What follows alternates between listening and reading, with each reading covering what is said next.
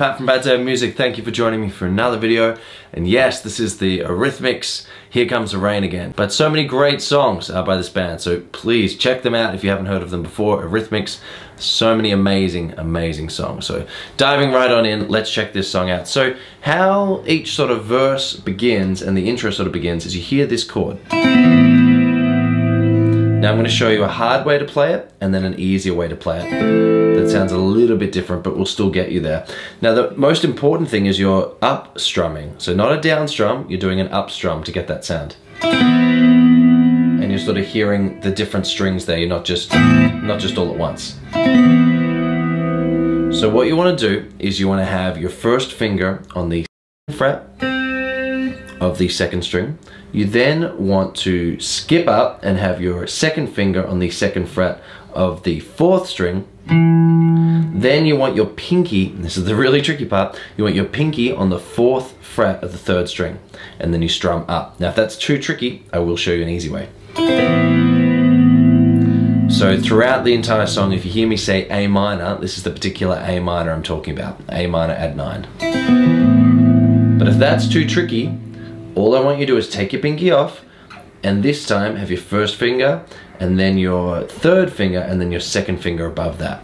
So you're playing a regular A minor chord instead. And if that's easier, hey, start with that and then build up to the other one. Great. Now the entire song, there's a lot of sort of space going on in this song. So maybe if you were playing it or you were playing along with the recording or you were singing, maybe strum once per sort of line of lyrics. Maybe have a little bit of chorus and echo and flange like what I've got on. To give it a big sort of dreamy sound and then maybe build in some strums later on. But so the entire song is based around these sort of chords. You've got A minor to begin with. Again, you can do this A minor or you can do this A minor, it's up to you. And then over to F, and then G. And then A minor again. And that's it. So it starts off the beginning. Here comes the rain again. And then F, falling on my head like a memory. Then G, falling on my head like a A minor. New emotion and then it could start off again. I wanna walk in the open wild F Wanna talk like lovers do G Wanna dive in the ocean A minor, is it A minor with you? So that's the entire verse. Every verse of the song repeats that same thing. So well done, I'd say you're about halfway there. So then you'd say it's the sort of pre-chorus, chorus, starts on F. So baby, F Talk to me like C lovers do.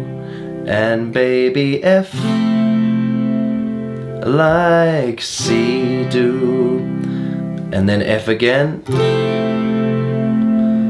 Like C and then over to D. G.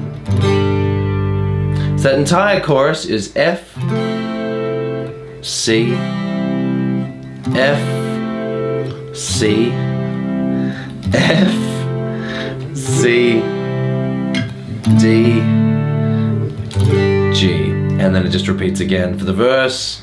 Here comes the rain again, raining on my head like a tragedy, tearing apart like an And then it just repeats the entire thing. Now the only other part of this song that we haven't covered, so we've covered all the verses, we've covered the choruses, is this sort of weird instrumental sort of breakdown where it's there's no lyrics going on. So let's check out that. So for that, it's E minor,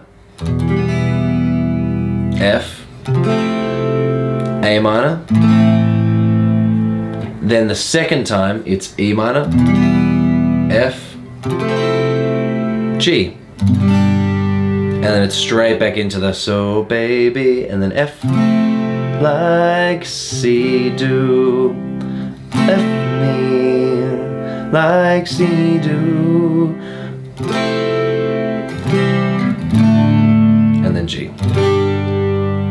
And that's it. That's the entire song. You've learnt the whole thing. Well done. But so many amazing songs um, they've written over the years. So definitely go back and check them out. And thank you so much for watching. Any other questions, hit me up on Facebook or on Instagram or comment below. Otherwise, I'll see you in a few days for another video. Okay.